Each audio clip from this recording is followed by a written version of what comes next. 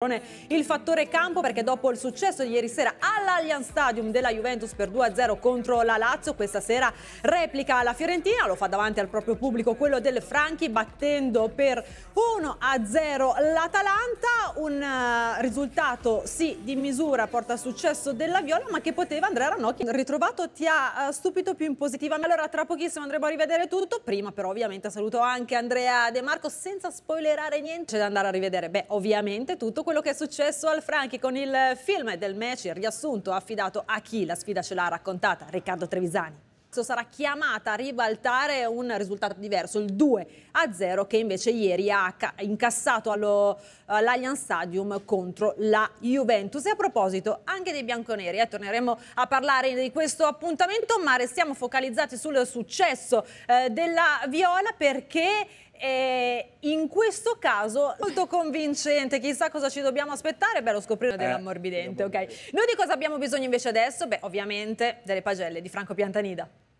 e ha mantenuto comunque in scia la sua Atalanta, quel 4,5, Massimo Mauro invece, tra questi sembra esserci anche la Juventus che intanto però ha ipotecato con il 2-0 di ieri contro la Lazio il passaggio uh, in finale. Chissà, c'è ancora la sfida dall'Olimpico. Intanto però l'Allianz Stadium è tornato a splendere la luce di Federico Chiesa e di eh, Dusan Vlaovic, loro sono tornati al gol, non è andato a segno ma quando è entrato in campo ha davvero fatto vedere tante belle cose cose. Parliamo di Ildis e allora i tifosi della Juventus si chiedono ma come mai non possono giocare tutti e tre insieme? Fabio Manfreda.